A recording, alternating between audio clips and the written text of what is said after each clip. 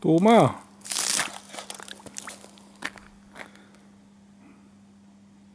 Pues sí, hace frío, sí.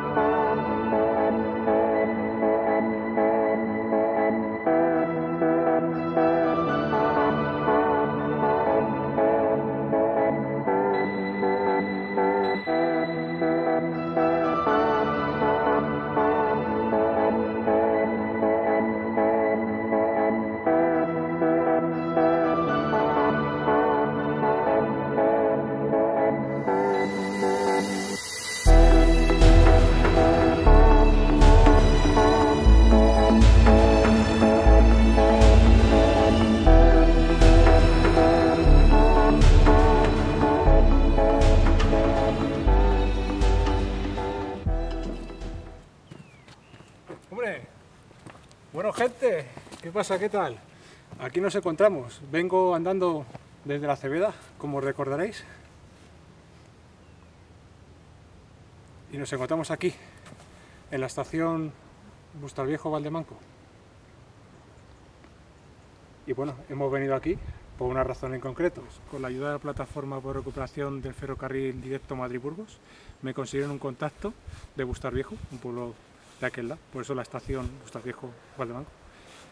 Y bueno, pues vamos a hablar con ese contacto, esa persona, nos contará eh, curiosidades de la estación, eh, qué impacto tuvo el cierre de la vía a, por ejemplo, el pueblo de Bustalviejo, el municipio, y bueno, pues alguna cosa más que nos pueda podamos añadir información o podamos valorar. Hasta ahora solo habíamos recorrido la vía, habíamos por alguna estación abandonada, pero no nos habíamos preguntado qué impacto tuvo el cierre de la vía, qué importancia tenía esta vía, hasta qué punto podría ser útil hoy en día que se reabriera la línea. Así que bueno, todas esas cuestiones que se puedan añadir, pues vamos a intentar resolverlas en esta, podríamos llamarlo entrevista. Así que nada, espero que guste, así que dentro vídeo.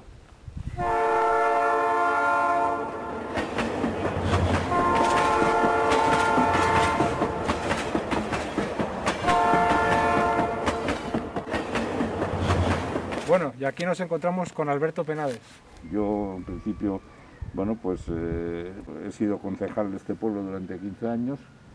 Llevo viviendo aquí desde hace 30 y pico años y la verdad es que, eh, no sé, este, el, el, tren, cuando yo me vine a vivir aquí, aún funcionaba y, en fin, ojalá lográsemos que volviese a funcionar, porque de hecho el tren ha estado, quiero decir, que incluso hace ahora como cuatro o cinco años había un proyecto que era el tren turístico de Lozoya y entonces se pretendía, claro, usar esta la vía.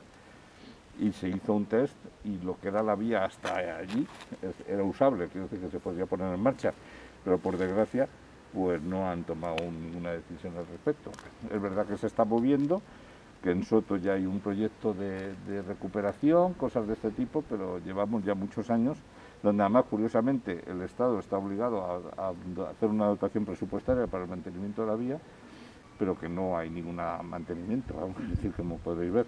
Es verdad que el pueblo durante un tiempo estuvo, tuvo servicio de tren, es verdad que la estación pues, se hizo separada del pueblo, pero, pero como muchas estaciones en este país, y, y, bueno, pero se podía, teniendo servicio de tren, eh, se podía servir por lo menos, sobre todo, no tener que usar mucho la carretera como nos pasa ahora uh -huh. con, con, la carretera de Burgos, que está muy llena de autobuses, de camiones, y con el resto de las carreteras que hay mucho tráfico. Entonces, ojalá se recupere este servicio, de, este servicio para, no ya solo para la Comunidad de Madrid, sino para todo lo que es la vía de Madrid-Burgos, pero también para la Comunidad de Madrid para evitar pues el tener que trasladarlo, los atascos de entrada en la ciudad, cosas de este tipo, pues esto aquí nos facilitaría un poquito la vida.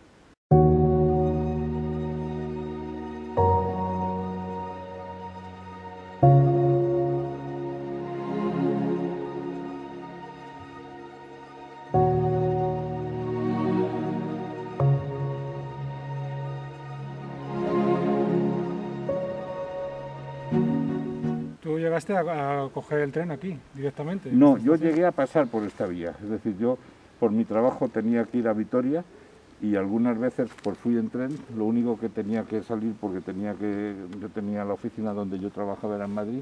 Entonces, pues ya lo cogí allí, tenía que entrarme la, documentación, etcétera, etcétera. Pero sí he llegado a pasar por esta vía, eh, pues viniendo de Vitoria hasta Madrid. Vamos. ¿El impacto que tuvo el cierre de la vía en Bustar Viejo fue grande? como no, fue moderado, porque en el fondo, bueno, pues tienes una alternativa para coger lo que es el autobús. Lo único que pasa es que el problema del impacto es medir lo que ha limitado pues el mantenimiento y el desarrollo del pueblo luego. Quiero decir, cuando en toda esta zona se cerró la vía, pues se produjo un incremento bastante grande de, tráfico en las carreteras. De hecho, yo por mi trabajo tenía que bajar todos los, todos los días a Madrid y siempre bromeaba de que nunca me tenía que parar eh, hasta llegar a, San Sebastián de los Reyes o incluso nunca llegaba a parar. Evidentemente no llegaba a 100 por hora, sino llegaba a 40, 30, pero nunca había atasco. Una vez que empezó a quitarse la vía, pues se notó el tráfico y luego ya ha habido por los atascos que ha habido en todos los sitios.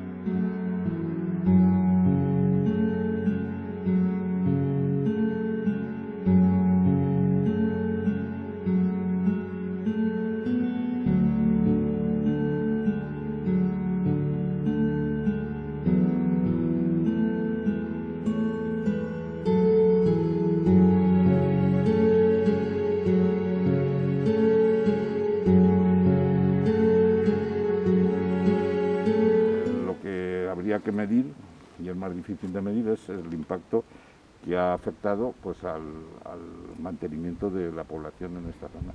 Porque, insisto, ahora la carretera de Burgos y las carreteras de aquí de la Comunidad de Madrid pues están bastante dotadas, bastante llenas de tráfico y si tuviésemos este servicio de tren pues se, se liberaría un poquito del asunto y no habría problema. El problema de esta estación es que no está exactamente dentro del casco antiguo, digamos, de Bustar Viejo, sino estamos a unos dos kilómetros. Sí, pero eso, eso francamente tampoco es tan dramático. Quiero decir que esos señores de ahí sí. Eh, son también, no es el casco, es una urbanización, pero son también de Bustar Viejo, quiero decir que tendrían ese servicio. Cuidado, la vía no dejó funcionar porque las estaciones estuviesen separadas del casco. Hay en todas las estaciones, en muchos pueblos de España, la estación está separada del casco porque se hacía para que no, para no meter las vías dentro del casco urbano, pero siempre se habría una solución para tener este servicio. Quiero decir, por supuesto, no es lo mismo coger el coche para ir a la estación que para irte a Madrid, que son 70 kilómetros. Y segundo, y segundo eh, sí se podría pensar en un minibús que diese servicio pues para los trenes, los horarios más, eh, más usados para el tren de cercanías cosas de este tipo, pues recogerlos y llevarlos al pueblo. antiguamente no había un autobús de la estación. No, no, pero, ¿no? no, no, No que yo recuerde, vamos, andando no mucho, la gente del pueblo pues estaba acostumbrada a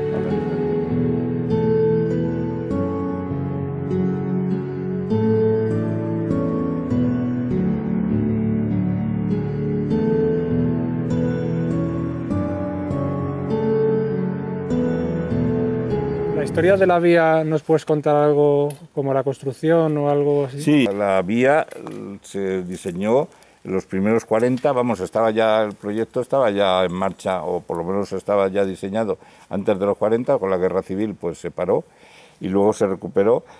La historia eh, de la vía y de la estación, incluso un viaducto que hay aquí, eh, pues se construyó, no se puede explicar sin eh, la aportación que hicieron los presos y represaliados de la guerra civil, que los trajeron aquí para hacerlo a cambio de mm, disminuir sus tiempos de estancia en la cárcel.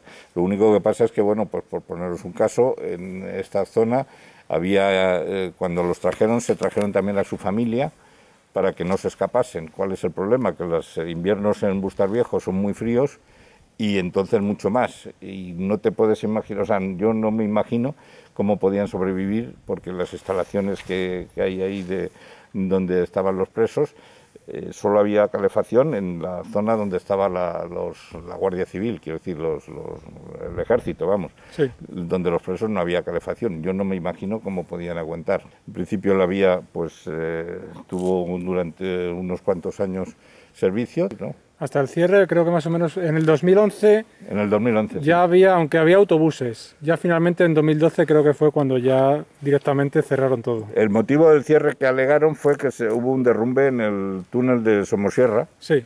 que impidió el asunto. Lo que pasa es que es una situación que eso se podía reparar. Quiero decir que de hecho la reparación habría costado, pero como el mantenimiento del resto de la vía ferroviaria en todo el país, lo único que ya se aprovechó para dejar el cierre aquí pero ya digo, la vía en principio, hombre, por supuesto, si se pensase en retomarla, habría que modernizarla, porque claro, lleva parada desde tantos años, pero técnicamente es posible poner un tren aquí que funcione, porque de hecho cuando, el tren cuando se usó el informe del tren turístico, se, se puso un tren por aquí para ver si podía funcionar y se llegó a funcionar. ¿Llegó un tren a pasar por aquí? Sí, sí, sí, sí porque era se estuvo impulsando por parte de la Comunidad de Madrid, etcétera, de que para, para ver si, si se podía, hombre, que ya digo, que durante años no se mantenga una vía de tren, pues evidentemente desgasta y lesiona, es decir, eh, pero en aquel momento se emitió el informe, ya digo, de que la, vía se podía, se podía usar. No funcionaba la vía, aquí vivían ferroviarios, vivían familias ferroviarias.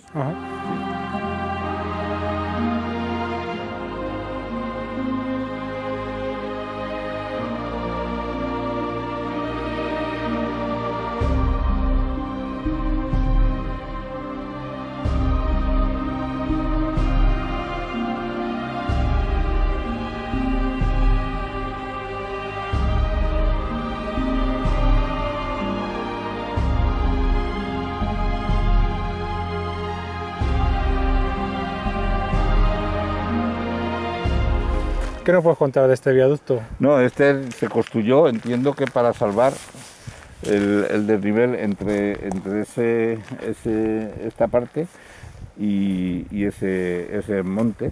El viaducto es curioso porque eh, siempre lo hemos notado que es hace un cambio de clima. Hay veces que viene lloviendo, viene lloviendo por aquí, porque la carretera para acceder a Bustar Viejo pasa por debajo del viaducto, viene lloviendo por, por aquí debajo y cuando cruzas el, viaducto es nieve lo que cae. Es como si tuviese una puerta diferente, pero vamos, es un viaducto que se construyó con los presos de, la guerra civil y, bueno, pues sirvió para no tener que, para salvar la distancia, la distancia que había. Al principio tiene también el túnel y luego los barracones que están al otro lado, que era donde vivían ellos.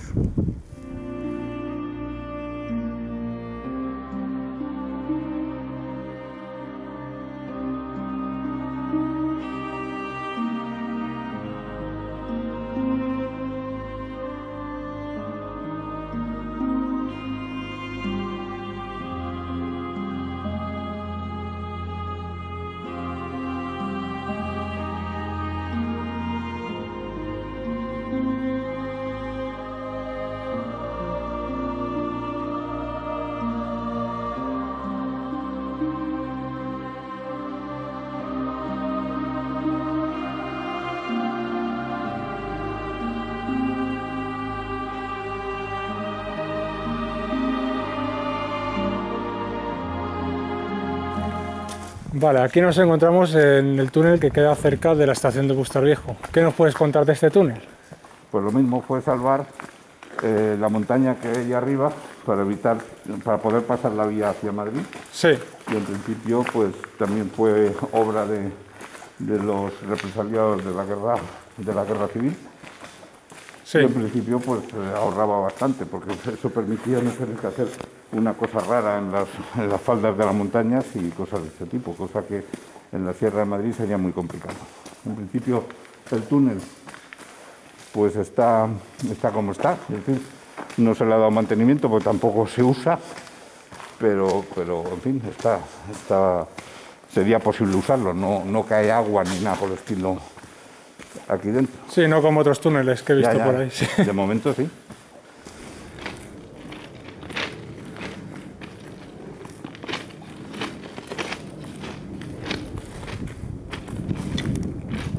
Pues aquí son los barracones donde vivían los presos que estaban haciendo toda esta obra más la guardia, los, los, bueno, civil o los militares que estuviesen controlándoles. lo que es la estación, la vía, o sea, esta zona de la vía y el viaducto, no se podría explicar sin, sin explicar que aquí estuvieron ellos haciéndolo, quiere decir que fueron ellos los que lo hicieron. No fue una obra sin más, pero vamos que, que aquí es donde residían. Incluso los presos recibían una pequeña cantidad de dinero por el trabajo, además de redimir las, las penas, una pequeña cantidad que en parte iba para sus familias para que pudiesen comer. Quiero decir que ocho inviernos aquí y en estas condiciones, sobre todo en estas condiciones, no sé cómo pudieron aguantar, pero bueno, es lo que había. Bueno, gente, y hasta aquí el vídeo entrevistando a Alberto Penades. Bueno, Alberto, muchas gracias Nada, por todo. Dios. Además, hoy que ha hecho bueno de tiempo y cosas de esas, pues ha sido muy bonito venir para acá. Y aquí tenéis la estación para quien quiera venir a verla. Y bueno, ojalá un día sea también para quien quiera venir a coger aquí el hay, hay una asociación aquí, una asociación de los barra, una asociación de los barracones que organiza visitas guiadas al, a, las instalaciones donde estuvieron los presos. Es una vez al mes. Lo que pasa es que ha habido que cancelar la, la próxima por motivos de la, de la pandemia. Sí y entonces se programará una siguiente. Lo que pasa es que aún no podría decir la fecha. Creo que conectándose a la página... abajo en la descripción del vídeo dejaremos unos enlaces donde se podrá acceder para pedir visita. Es por cita previa, imagino, ¿no? Sí. Sí, pedir cita y poder visitarla con guía incluido. Bueno, gente, hasta aquí próximamente más. Venga.